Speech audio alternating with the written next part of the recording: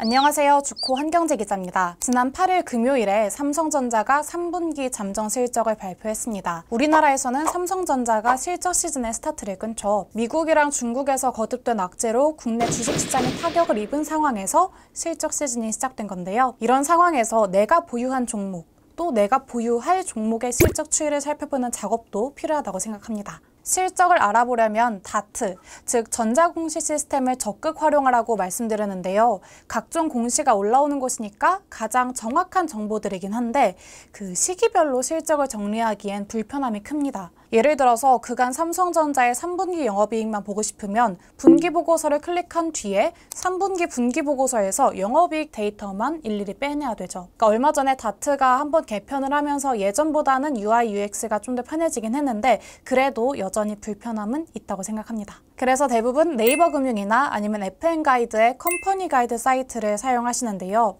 이 사이트들은 시계열이 너무 짧아요. FN 가이드는 연간 자료를 2016년부터 2023년 추정치까지 주고요. 분기별 자료는 2020년 2분기부터 2022년 1분기까지만 주고 있습니다. 네이버 금융도 마찬가지고요. 그래서 오늘은 다트랑 FN 가이드 또 네이버 금융 이외에 추가로 활용할 수 있는 사이트를 소개하려고 합니다. 제가 소개하고 싶은 사이트는 빅파이낸스인데요. 빅파이낸스 co.kr을 누르시고 들어가면 무료 회원 가입을 한 뒤에 사용하실 수 있습니다. 유료로 전환하면 더 많은 데이터를 볼 수 있는 것 같긴 한데 저는 무료 회원 수준도 충분하다고 생각해요. 여기서 찾고 싶은 기업명을 입력하면 이렇게 FS Core 화면이 가장 먼저 보일 텐데요.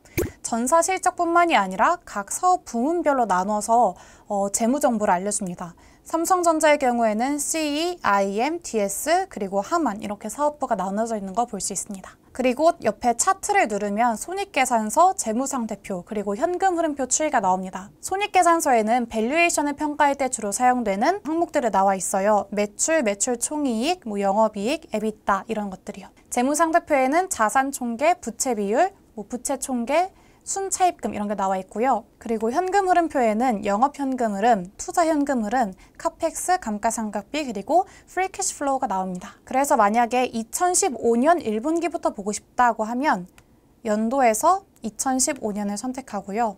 그리고 분기는 1분기로 선택하면 이렇게 2015년 1분기부터 가장 최근인 2021년 3분기까지 나옵니다. 그리고 이 가로줄 무늬를 누르면요. 전체 화면 모드로 전환을 하거나 아니면 엑셀 혹은 이미지 형태로 다운받으실 수 있습니다. 다음은 대시보드입니다. 주가, 주주 구성, 뭐 시가총액 비중 추이 이런 것들이 나와 있는데 저는 그 중에서도 이 스마트 차트 기능을 사용하시기를 추천드려요. 아까 FS Core 탭에서 본 거랑 비슷하긴 한데 주가랑 재무 정보를 비교할 수 있습니다. 원하는 지표를 선택하고 그 다음에 자기가 보고 싶은 구간을 누르면 되는데요. 만약에 내가 매출액을 누르고 싶, 매출액을 보고 싶다.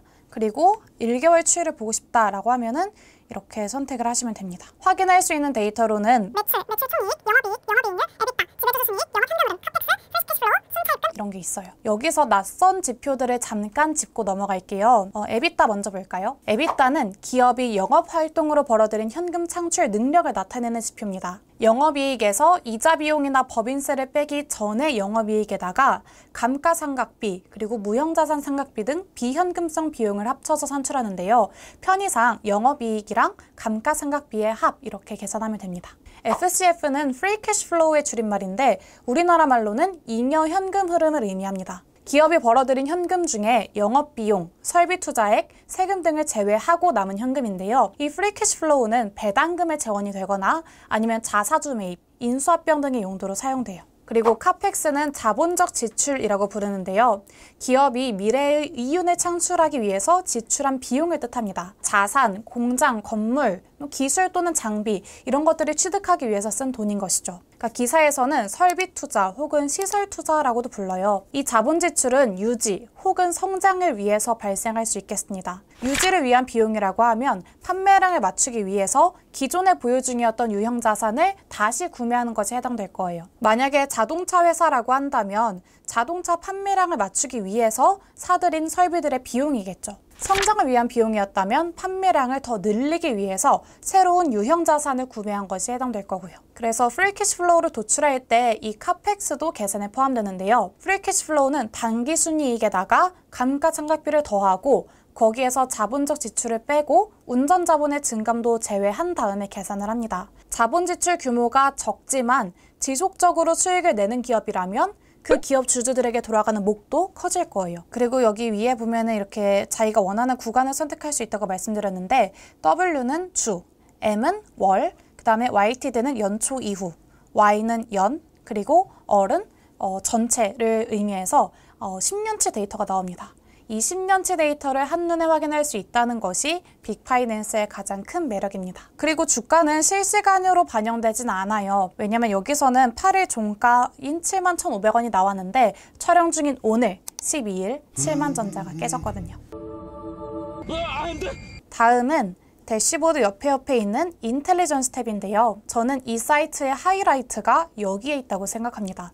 왜냐하면 이렇게 정리해준 사이트를 많이 못 봤거든요. 어, 여기에 Peer and Supply Chain Companies라고 나오죠. peer group은 같은 산업 내에서 비슷한 산업 구조를 가진 기업을 의미하는데 비교 기업이라고 번역됩니다. 아마 이 단어는 공모주 투자 때 많이 들어보셨을 거예요. 공모가를 산정할 때 이 peer group들의 valuation이 판단 지표로 많이 사용됐죠. 삼성전자의 peer group으로는 SK 하이닉스랑 LG전자가 있고요. 현대차는 기아, 쌍용차, 그리고 LG화학의 peer group은 롯데케미칼, 금호석유 등이라고 나옵니다. 그리고 Supply Chain Companies는 쉽게 말하면 관련주들입니다. 왜냐하면 공급망과 관련된 회사들이잖아요. 삼성전자를 보면 반도체 장비, 반도체 소재, 그 다음에 부품이 있고 그 다음에 인쇄회로 기판인 PCB 회사들, 그리고 반도체 packaging, 그 다음에 비금융 계열사들까지 나열되어 있습니다. 보통 기업 분석을 하면 우리가 시장 분석을 하고 경쟁사 분석을 꼭 해야 되잖아요. 그때 이 정보들을 활용하시면 되겠습니다. 그리고 여기에서는 클릭하시면 어, 각각 기업의 홈페이지로 넘어갑니다. 그 외에도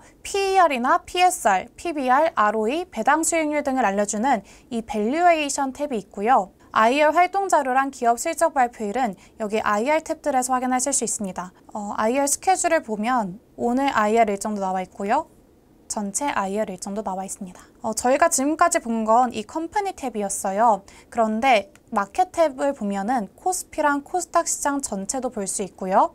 그리고 Commodities, 원자재 시장, 그리고 Exchange Rate, 주요 환율까지 확인하실 수 있습니다. 그리고 Real Time이라 그래서 실시간 데이터들도 있고 또 수출 물량도 나와 있는데 이건 참고만 해주시면 될 것 같아요. 그래서 굳이 이 서비스의 단점을 꼽자면 일단 어플 형태로 돼 있진 않고 웹 버전만 있다는 점 그리고 메뉴가 영어로 되어 있다는 점인데요. 근데 저는 회원 가입 과정도 상당히 간편했고 또 화면 넘어가는 속도도 빨라서 UI나 UX 모두 만족스러웠습니다. 그래서 이거 즐겨찾기 해두시고 기업 분석에 활용하시면 좋겠습니다. 실적 시즌이 끝나갈 때쯤에 MSCI 전기 변경 이슈도 있습니다. MSCI 지수에 대해서 지난 5월에 한번 설명드렸죠. 다음 달 12일에 교체 종목이 발표되고 리밸런싱은 30일이라고 해요. 실적 발표 일정이랑 MSCI 반기 변경 일정도 캘린 더에 꼭 체크해주세요. 다음 주에 더 유익한 기초 상식 가지고 찾아뵐 텐데요. 궁금하신 점이나 아니면 다뤄주었으면 하는 주제들이 있다면 댓글 달아주세요. 그리고 좋아요, 구독, 알림 설정도 부탁드릴게요. 감사합니다.